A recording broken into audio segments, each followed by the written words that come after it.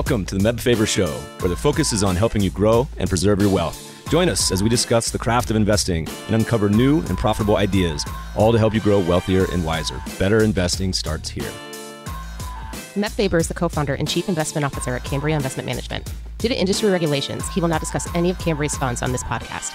All opinions expressed by podcast participants are solely their own opinions and do not reflect the opinion of Cambria Investment Management or its affiliates. For more information, visit CambriaInvestments.com. Today's episode has the ominous title Red Light. Let's begin. When the facts change, I change my mind. What do you do?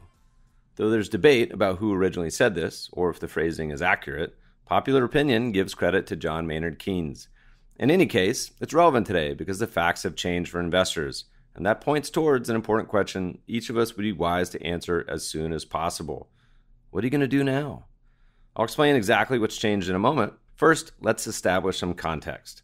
The two primary pillars upon which we build portfolios are value, and then on the other side, momentum and trend. Specifically, our main value framework is the shareholder yield strategy that invests in stocks trading at what we consider to be attractively low valuations relative to their price, and then also distributing their cash flows to shareholders. On the other hand, we implement global momentum and trend strategies. It seeks out the highest global momentum assets that are also in an uptrend, regardless of valuations. Sometimes value and trend tend to line up. My favorite, a cheap investment in an uptrend. But many times, value and trend disagree.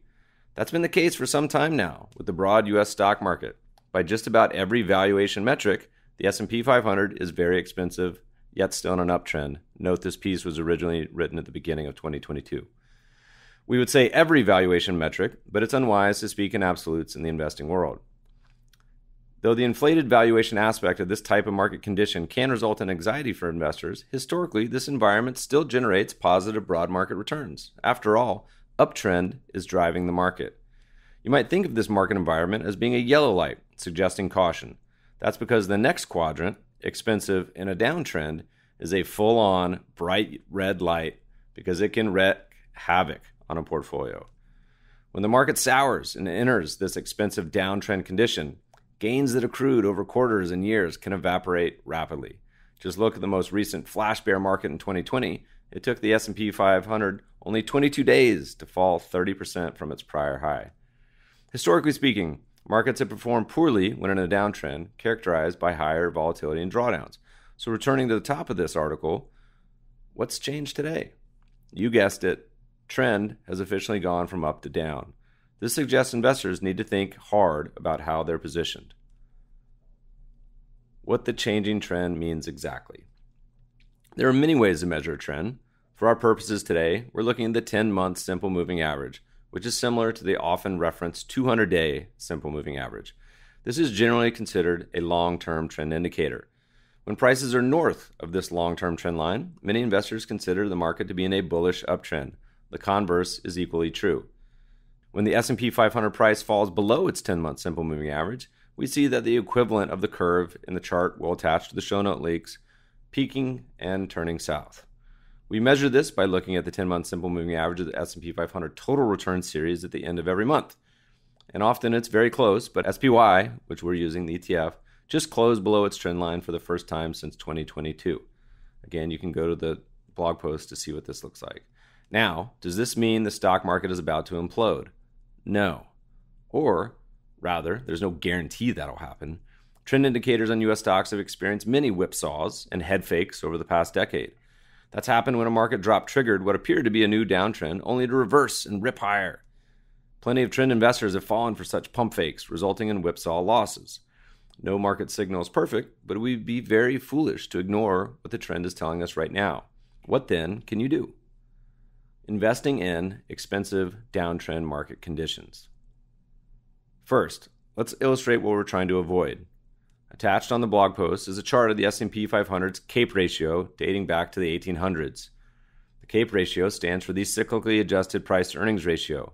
Rather than a traditional price earnings ratio, CAPE stretches earnings over a 10-year period. This is done to smooth out business cycle fluctuations. As we record this, the CAPE ratio is around 32, despite the correction we're undergoing. This puts today market conditions deep in the overvalued category. Translation, watch out forward-looking 10-year S&P 500 returns. So what does that mean in practical, actionable terms? First, you don't have to invest all your money 100% in stocks. We often say the best way to hedge risk is not to take the risk in the first place. No one says you must invest your entire portfolio in equities. So instead of 100% stocks, investors could own 80 or 60% or even less with the remainder in cash or bonds. Second, you don't have to limit yourself to only US markets. We feel this choice is a no brainer. We've spoken often over the past few years about how moving into cheaper foreign equities can be a wise choice in a world dominated by more expensive US shares. Third, you could add liquid alternatives. Think things like real assets, like commodities and real estate. Our global momentum and trend strategy is heavily invested in real assets today. If inflation remains elevated, real assets could be a big beneficiary. We see this as a benefit for investors because the strategy itself adapts to changing market conditions, freeing the investor from having to keep track of shifting markets and reposition his or her portfolio manually. Incorporating strategies like trend following managed futures or long short market neutral equity can also help to hedge equity risks if equity markets decline. Now, most investors are familiar with these options, but there's a fourth one, and while two, it is also defensive. If used tactically, it can also be an offensive strategy. To be clear, it's not for everyone. It's probably also not for all the time. That said, when used wisely and strategically, it has the ability not only to help hedge a portfolio during drawdowns, but positions the portfolio to potentially profit from it we're referencing our tail risk strategy. How tail risk might be a helpful component to your portfolio. Our tail risk strategy invests in a ladder of puts in the US stock market, paired with long positions in US government bonds. A put option is an option contract giving the owner the right, but not the obligation, to sell a specified amount of an underlying security at a specified price within a specified time frame. The basic idea is that if the market, or your stocks, roll over, a put option you've previously purchased will enable you to either sell your equities at the predetermined strike price, play defense, or if you don't own the underlying investment, you'll be able to profit as the underlying market price falls, therein increasing the value of the put option you own, playing offense. The portion of our strategy investing in US government bonds is engineered to spin off the cash flow from those bonds to help fund the cost of the puts. In a normal rising stock market, this means tail risk may not be appropriate for the portfolio of the average investor. However, when downward volatility strikes, it could make far more sense. The challenge is how do you know when downward volatility is more likely to strike? Well, perfect timing is impossible. But we do believe the yellow to red trend indicator we've detailed today suggests that market is more likely to experience significant drawdowns than before. Wrapping up, the S&P is now officially closed a month with its price below its 200-day moving average. That's a long-term red light warning sign.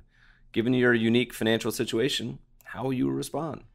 If you believe that hedging your long US stock exposure or even taking a bearish view of the stock market is the right call, tail risk could be appropriate for you. Podcast listeners will post show notes to today's conversation at mebfaber.com forward slash podcast. If you love the show, if you hate it, shoot us feedback at the mebfabershow.com. We love to read the reviews. Please review us on iTunes and subscribe to the show anywhere good podcasts are found. Thanks for listening, friends, and good investing.